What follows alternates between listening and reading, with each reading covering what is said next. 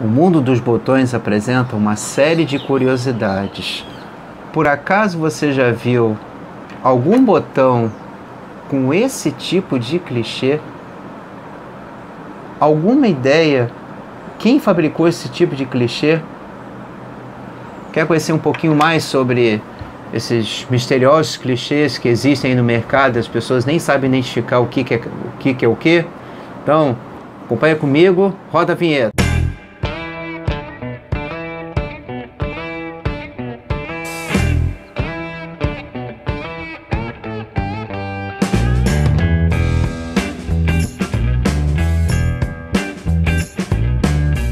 Seja bem-vindo, eu sou Alexandre Schmidt, esse é o canal Tuma Tok Tok.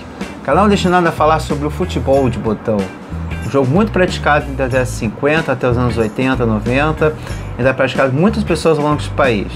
Você ainda não é inscrito? Clica aqui no botão direito, no cantinho do seu vídeo, se inscreve no canal, ativa as notificações. Tua inscrição é muito importante para manter esse espaço destinado ao futebol de botão. Rapaziada, o vídeo de hoje é para mostrar para você uma série de clichês diferentes do que você está acostumado a ver. O que o pessoal é acostumado a ver por aí vendendo? Bola de ouro, escudinho, escudinho time brasileiro, seleção, time europeu, times do, do exterior, Argentina, Ásia, enfim, vários vários times diferentes. Agora, botões como esse que eu mostrei no começo do vídeo, realmente é difícil aparecer. Quem fabricou isso aqui? Alguma ideia? Eu te digo, foi a Bertiza. A fábrica da Bertiza, provavelmente já lá perto do seu fim, criou essa série de botões com esses, com esses desenhos diferentes.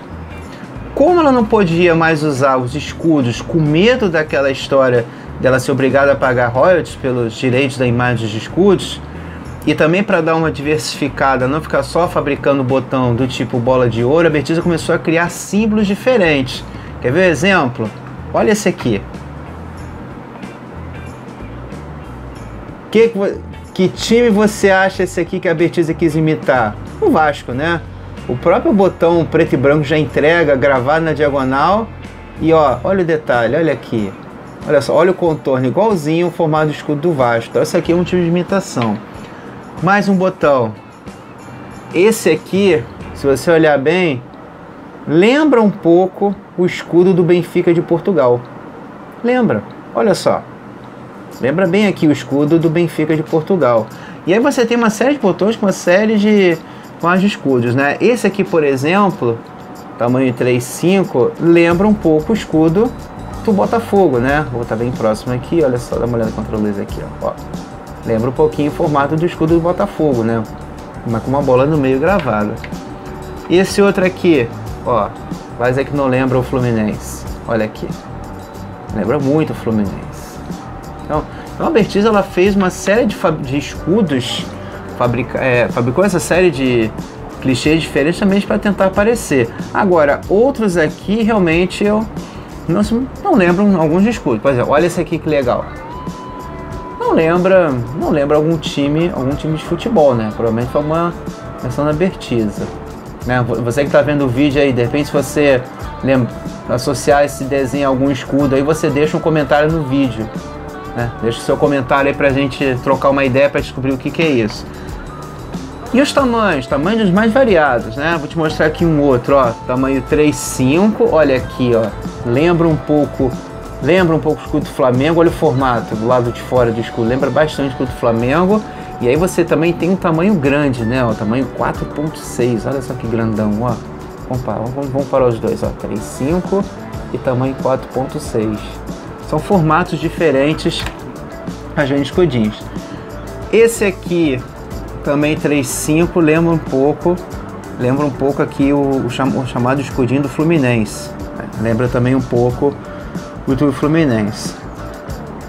E para a gente finalizar o nosso vídeo, mais, mais dois modelinhos aqui, que eu tenho na coleção. Outros também que faz uma alusão ao Flamengo. Olha aqui, ó, o formato do escudo. Lembra um pouquinho, né, escudo do Flamengo. E esse aqui, por último, faz alusão à seleção brasileira.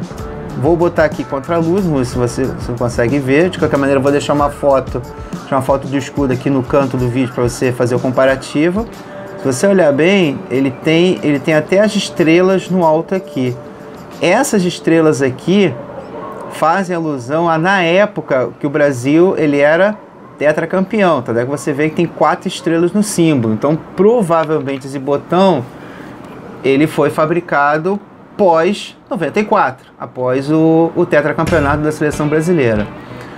Rapaziada, gostou desse vídeo? Achou legal esses clichês diferentes que a, que a Bertiza fabricou? São botões que não aparecem toda hora. De vez em quando pinta um, um ou outro, mas não é sempre que aparece. Então, ó, eu te espero aí no próximo vídeo. Deixa seu comentário se você quiser saber mais alguma coisa aí que envolva o mundo futebol de botão. Então, até o próximo vídeo. Valeu!